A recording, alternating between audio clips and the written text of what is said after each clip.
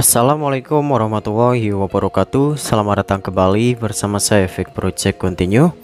Masih ke dalam pembahasan seputar tentang tutorial, tips, dan aplikasi. Di kesempatan kali ini sekarang saya akan memberikan step Bagaimana cara menggunakan aplikasi ShareIt untuk mengirim file?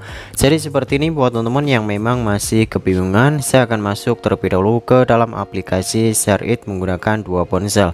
Nah di sebelah kiri saya akan uh, gunakan sebagai penerima dari file Untuk ponsel yang saya kirimkan file dari sebelah kanan ya. Oke saya akan contohkan seperti seperti ini. Ya di halaman ini untuk ponsel sebelah kanan dan sebelah kiri kalian melihat tanda kirim dan terima ya. Kalian bisa sesuaikan saja. Misalnya jika kalian ingin mengirim file dari ponsel yang sebelah kanan ke sebelah kiri untuk ponsel yang sebelah kanan kalian bisa klik kirim terlebih dahulu. Ya klik kirim di ponsel sebelah kanan ya. Kita klik kirim. Kemudian kita melihat beberapa file yang tersedia seperti file kemudian terbaru video, aplikasi, foto, musik dan di sini beberapa file ini kalian bisa gunakan untuk mengirimkan ke ponsel tujuan di ponsel sebelah kanan atau sebelah kiri maksud saya. Ya, kita akan langsung contohkan menggunakan salah satu aplikasi yang akan kita kirimkan uh, misalnya di sini saya akan contohkan mengirim aplikasi Plus ya. Saya akan mengirim aplikasi Plus ini ke ponsel sebelah kiri.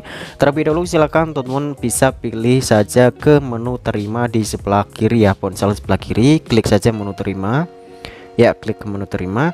Kemudian kalian bisa pilih aplikasi Plusnya klik ke Plus oke checklist. Kemudian klik kirim di, di pojok kanan bawah seperti ini Oke selanjutnya klik buka untuk masing-masing ponselnya. Kalian klik buka ponsel di sebelah kiri dan klik buka di ponsel sebelah kanan.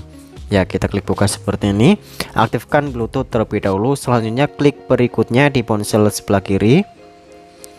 Ya di sini sudah menampilkan barcode yang akan kita uh, gunakan sebagai pengiriman file dari ponsel sebelah kanan. Kemudian klik berikutnya di ponsel sebelah kanan. Ya seperti ini. Nah silahkan kalian bisa sesuaikan saja tempelkan barcode seperti ini teman ya. Ya sudah menghubungkan secara otomatis setelah kita melakukan scan barcode dari ponsel sebelah kiri dan ponsel sebelah kanan Nah, di sini ukuran MB-nya 18,3 MB saja dari aplikasi Vin Plus. Kita tunggu terlebih dahulu sampai aplikasi terpasang dan sampai di halaman ini aplikasi sudah berhasil dipasangkan. Kalian bisa langsung klik pasangkan terlebih dahulu ya di ponsel penerima ya di ponsel sebelah kiri. Oke, kita tunggu sebentar lagi kalau memang tidak berhasil ya. Di sini sudah berhasil ya. Aplikasi Plus sudah terpasang. Nah, pemindahan virus kalian bisa klik pemindahan virus atau klik tutup saja langsung. Ya, kita akan cek di ponsel sebelah kiri sudah ada aplikasi Plusnya yang dikirimkan dari ponsel sebelah kanan. Oke, jadi untuk stepnya seperti saja untuk cara pengiriman file dari aplikasi menggunakan aplikasi ShareIt. Kalian bisa gunakan beberapa file media seperti file ataupun video, aplikasi, foto dan musik musik.